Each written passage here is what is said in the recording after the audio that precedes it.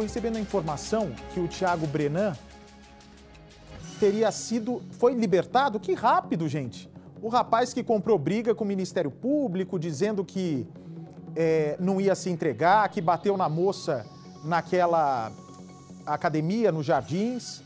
O Thiago Brenan também, que é acusado de crimes sexuais, sumiu do Brasil, decretaram a prisão, prenderam lá em Abu Dhabi, nos Emirados Árabes. Ele acaba de pagar a fiança e ó, quer saber de tudo? Parece que ele está com a razão. Não tem justiça nesse país. Não tem é, luz no, no fim do túnel nesse país. Porque não é possível. Tem, tem imagem dele batendo na moça aí, Zama? Puxa enquanto isso. Conta pra gente, por favor, o, o, o Ligeiro.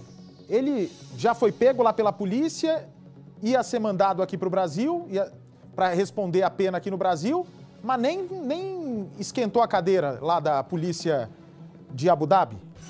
Isso aí, Bate. A, a, informação foi confirmada agora há pouco pelo nosso repórter Bernardo Armani. E o Thiago, ele, a previsão é que ele chegaria ao Brasil até o início do ano que vem, mas ele pagou uma fiança e informou o endereço fixo dele. Não vai poder se ausentar do país árabe sem comunicar à justiça e, neste momento, está livre, Bate.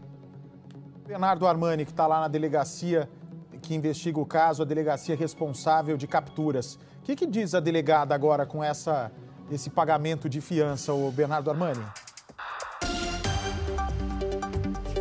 Bate, primeiro que ela está muito desanimada com essa notícia, depois de um trabalho grande né, da polícia para chegar até o Tiago Brenan, que foi preso no exterior com a ajuda da Interpol, a Polícia Federal também. Agora vem essa notícia de que ele pagou fiança à justiça local lá dos Emirados Árabes e aí sim ele está em liberdade no país uh, lá dos Emirados Árabes, mas não pode deixar uh, aquele país. Ele pagou a fiança para evitar a extradição. Nós teremos mais eh, notícias daqui a pouco com a doutora Ivalda Aleixo, setor de capturas aqui da Polícia Civil de São Paulo, ela que confirmou esse pagamento de fiança por parte do empresário para evitar a extradição, e isso é algo uh, uma relação dele com a justiça local, que entendeu que não havia necessidade de ele ficar preso se pagasse a fiança. E foi isso que ele fez. Também estamos tentando confirmar esses valores da fiança, viu, Bate?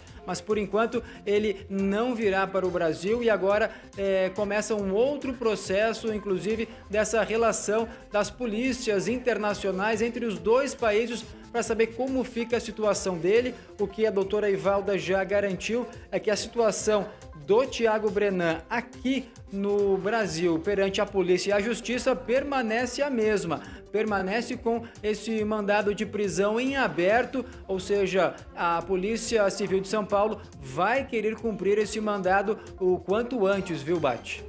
É, ele tatuava as iniciais dele nas vítimas, né? depois do, de cometer os crimes, o Ligeiro? Isso mesmo, Bate. Ele tatuava as iniciais dele e ele também tem diversos outros processos. São várias mulheres que fazem diversas acusações em relação a esse, a esse empresário, Bate, que a gente está vendo nas imagens, agrediu uma modelo numa academia e foi o que desencadeou todo esse processo e até chegar à prisão dele, foi preso hoje, pagou fiança e mais uma vez foi liberado. Bate. Daqui a pouco o Bernardo Armani vai contar pra gente quanto que o empresário pagou lá nos Emirados Árabes para se livrar da prisão. Daqui a pouco o Bernardo vai nos contar. Vem para cá, por favor.